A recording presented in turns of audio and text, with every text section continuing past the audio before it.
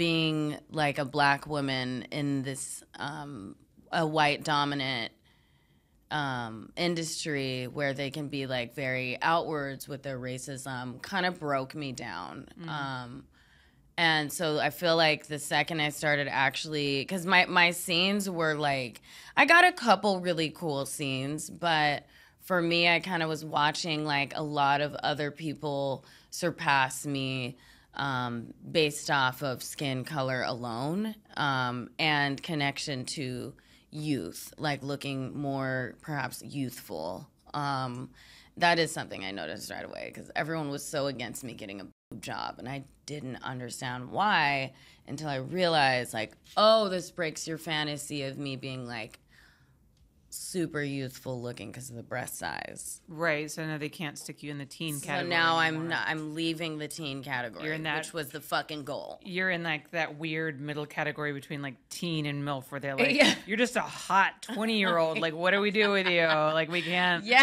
and Can't like, I don't know what to do. Yeah, it's like ridiculous. it's